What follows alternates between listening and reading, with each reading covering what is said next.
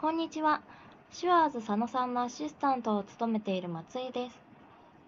今日はタイのスカイバーならドレスコードなしで入れるオクターブで決まり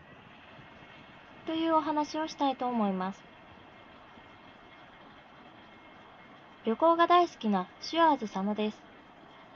10月16日から20日まで経営者仲間とタイに行ってきました。佐野は今まで20カ国ぐらい旅してきましたが、意外にも初のタイです。タイに行く前のイメージは物価が安いけどごちゃごちゃしていてあんまり綺麗じゃないのかなと思っていたのですが実際に行ってみたところ物価が想像以上に安いですしおしゃれなバーや美味しい食べ物がたくさんありました今日は旅行の前編としてタイに行くならぜひ立ち寄っていただきたい絶景が見えるスカイバーをご紹介したいと思います。穴場の絶景スカイバーオクターブ佐野がおすすめする超穴場のスカイバーがオクターブルーフトップラウンジバーです。BTS モノレールの駅から徒歩3分のところにあるためアクセスも良く、ドリンクなどもお手頃。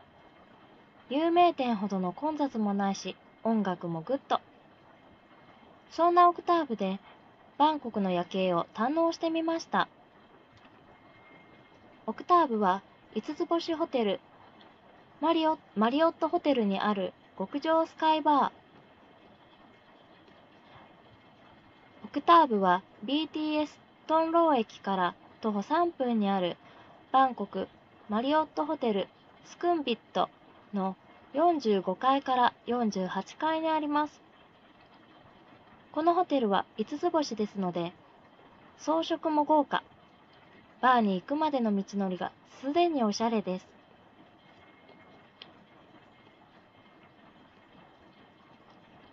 佐野は48階に上がりましたが、周囲には高層ビルがないので、最上階まで登ればぐるっと360度のパノラマを堪能。DJ もいて雰囲気を盛り上げてくれます。48階からの夜景は必見です。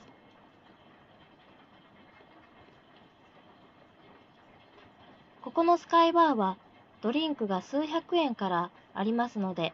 値段も手頃なんです。この値段で絶景スカイバーにいられるなんて日本ではなかなか難しいのではないでしょうか。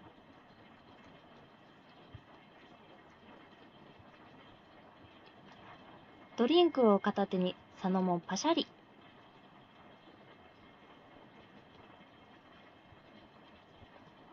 ドレスコードなし、短パンでも OK。オクターブは他の有名なルブアやバンヤンツリーにあるスカイバーと違い、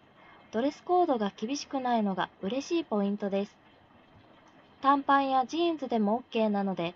バンコクの街歩きや観光の後にそのまま直行ということも可能です。そもそもドレスコードとは？そもそもドレスコードとは高価で華やかであればよいというわけではありません。服装ルール、服装の格の指定を指すので、その場にふさわしい服装やその場所のルールに従ういわゆる装いのルールと言ってもよいでしょう。例えば今回のような5つ星のバーでビーチサンダルやサンダルは合わないし何も言われないこともありますがそういった TPO に合った装いに気をつけることが大事なわけです。カジュアルでもその場にふさわしいと判断されれば、これぞ一番最高です。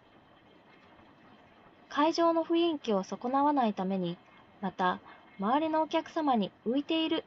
と思われないように、TPO に沿ったドレス選びは非常に重要と言えます。まとめ。駅からも近くて、お手頃価格、しかも有名店ほど混んでいない超穴バスカイバー、オクターブ、いかがだったでしょうか？こんな場所でプロポーズしたら間違いなく成功しそうですね。タイ旅行の後編では、タイに行ったらぜひ食べておきたい絶品タイフード3選をご紹介します。お楽しみに。メルマガではブログよりさらに役に立つ情報を公開しています。無料なのでよろしければお気軽に登録をしてみてくださいね。今日は以上となります。また、さらに詳しい情報をシュワーズ佐野のアット限定で配信しています。LINE にご登録していただいた方には、今だけ期間限定で無料で儲かるお宝商品リスト20選をプレゼントしています。ぜひ LINE にご登録してくださいね。本日はご視聴していただきありがとうございました。